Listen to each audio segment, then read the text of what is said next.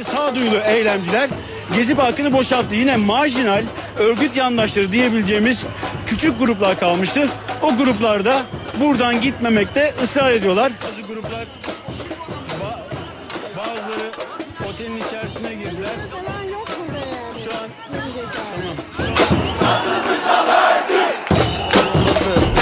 İstiklal Caddesi girişinde şu anda yo- yo- yayın Her Taksim, şeyi yayınlayabilecek misin? Taksim İstiklal NTV, her Caddesi şeyi yayınlayabiliyor girişinde musun? Hepsi kötüler kazanacak. Hepsi kötüler kazanacak. Kötüler kazanacak. Artık profesyonel medyacıların devletlerden ve şirketlerden sana yalan söylemek için para aldığını biliyorsun.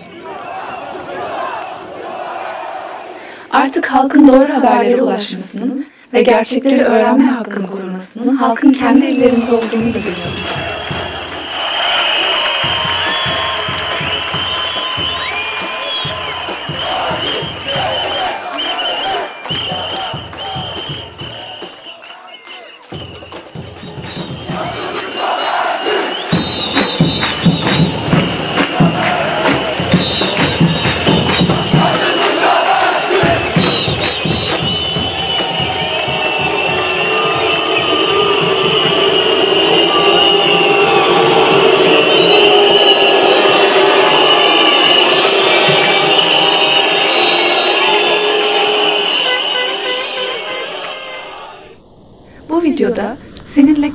Medyanı nasıl kurabileceğini ve merkezsiz medya ağına nasıl katılabileceğine dair yöntemler paylaşacağız.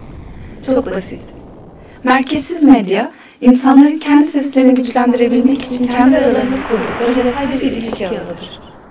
Devlet ve patron hakimiyetine, türcülüğe, ırkçılığa, cinsiyetçiliğe, homofobiye ve diğer tüm eşitsizlik ve ayrımcılıklara karşı sömürü ve yabancılaşmanın aşağıdan çözülmesinin ifadesidir. Bir cümlede özetlemek gerekirse, merkezsiz medyalar şunu söyler. Bizimle konuş ama bizim adımıza değil. Artık tarih hakimler tarafından yazılmıyor.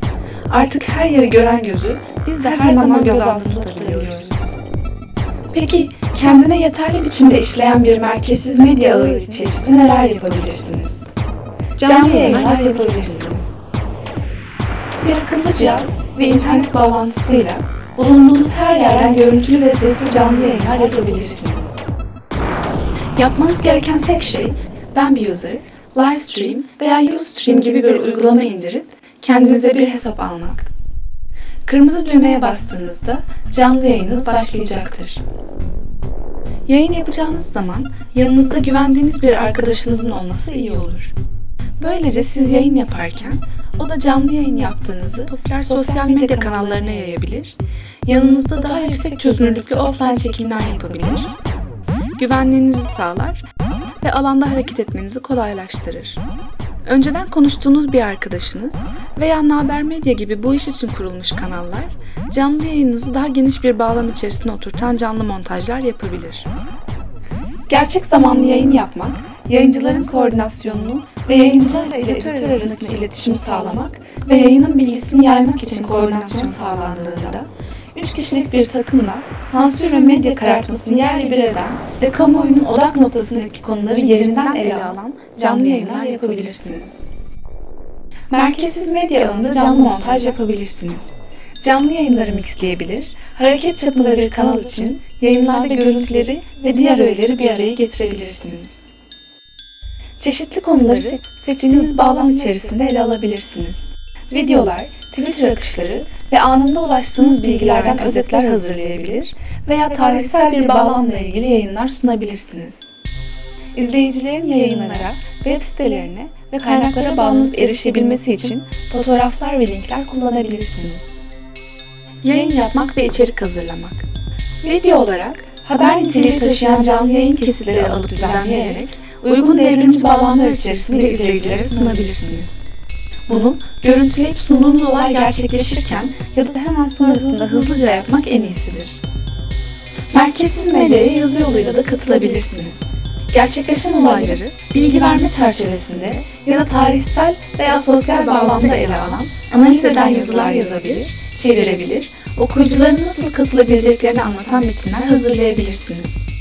Hazırlanan videoları, bağlantıları, fotoğraf akışlarını ve hatta Twitter'ları insanlara duyuran metinler hazırlayıp merkezsiz medya ağlarının daha fazla insana ulaşmasını da sağlayabilirsiniz. Yaymak Yayınların insanlara ulaştırılmasını sağlamak için canlı yayınlardan, alandaki muhabirlerden veya diğer sosyal medya kaynaklarından gelen bilgileri özetleyerek olup biten her şeyin sosyal medyada gerçek zamanlı olarak da görülür hale gelmesini sağlayabilirsiniz.